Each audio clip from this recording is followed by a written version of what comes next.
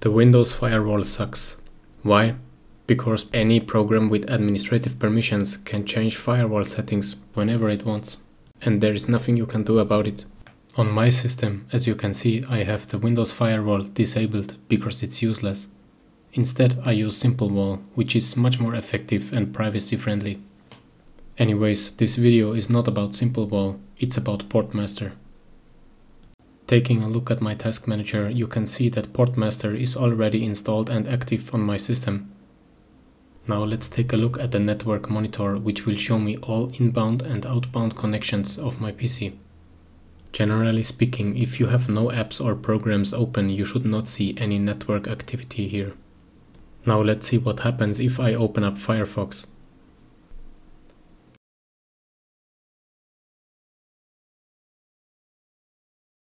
Clearly, it seems Firefox is already connecting to some domains, even if we did not make a search request yet. If you click on the small three dots on the right hand side, you can block individual domains. Clicking on the three dots on the top side will take us to the app settings. Here you can choose a general filter like allow, block or prompt.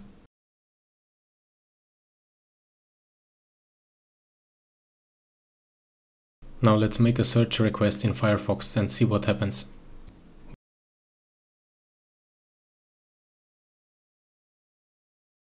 We can now see that Firefox has established a connection with DuckDuckGo because I'm using the DuckDuckGo search engine. Basically, this section here will show you every single connection that your browser makes. If we click on the settings icon, we can change our DNS server, for example to Quad9 or Cloudflare. If we click on filter list, we can change some security and content blocking settings. So that was my basic overview of Portmaster. If you don't want to be a victim of mass surveillance and you care about freedom and privacy, your freedom and privacy, Portmaster is for you. I'll put a link to the website in the video description.